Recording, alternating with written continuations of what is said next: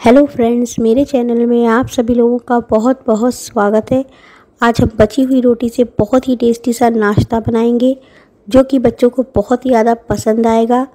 तो जब कभी भी बहुत ज़्यादा रोटियाँ बच जाए तो आप इस तरह से उसका नाश्ता बनाकर तैयार कर सकते हैं। बहुत ही ज़्यादा टेस्टी बनेगा, फटाफट से बनकर तैयार हो जाएगा। तो चलिए बनाना स्टार्ट करते हैं।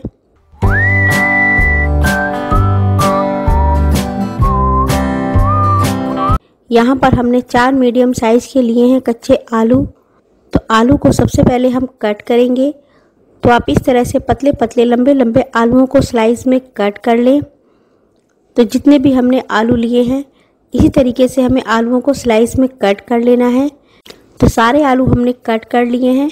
अब इसे पानी से अच्छे से दो से तीन बार धोकर पानी हम सारा निकाल देंगे।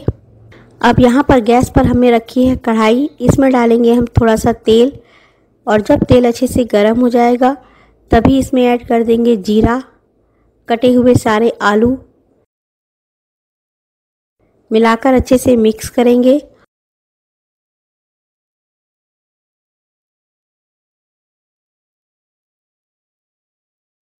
और फिर इसमें डालेंगे मसाले, हल्दी पाउडर, धनिया पाउडर, लाल मिर्च का पाउडर स्वाद के अनुसार ऐड कर देंगे नमक। सारे मसालों को आलू में अच्छे से मिलाएँगे और मिलाने के बाद ढक के रख देंगे। गैस का फ्लेम लो कर देंगे। धीमी धीमी आँच पर पकाएँगे। बीच में एक बार खोलकर चेक कर लेंगे और एक बार अच्छे से मिक्स कर देंगे। तो यहाँ पर हल्के हल्के से आलू गल चुके हैं। अभी हम इन्हें और पकाएँगे। तो पाँच से छः मिनट के लिए ढककर इसे हम और रख देंगे।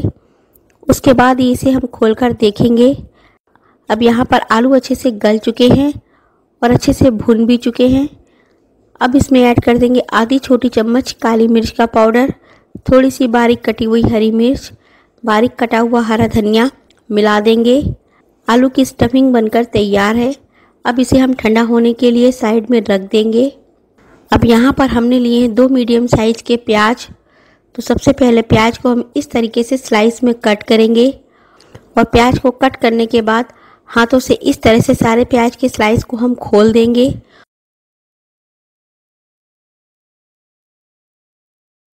और फिर इसमें ऐड करेंगे लाल मिर्च का पाउडर थोड़ा सा अमचूर का पाउडर थोड़ा से धनिया के पत्ते, आधा चम्मच ऐड करेंगे काला नमक, जिससे कि इसमें टेस्ट बहुत ही अच्छा आएगा।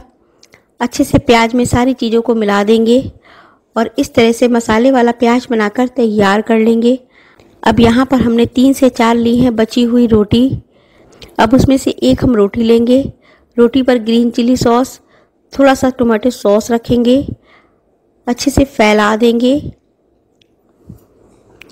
और फिर जो हमने आलू की स्टफिंग बनाई थी, रोटी के नीचे की साइड पर इस तरह से रखेंगे। अच्छे से नीचे की साइड की रोटी पर फैलाएँगे।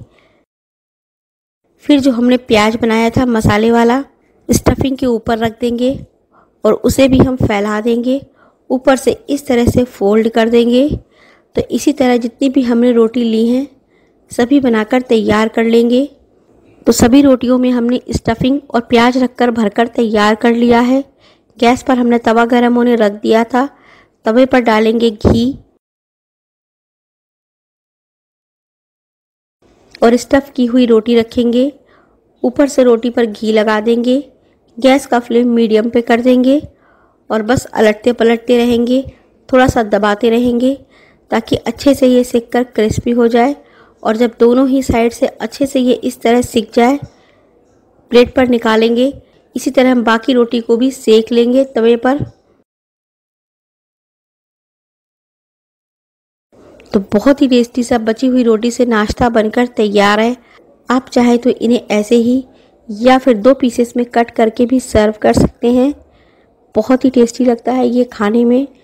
तो यदि आज की वीडियो आपको पसंद आई है तो लाइक कर दें और चैनल को सब्सक्राइब करना ना भूलें।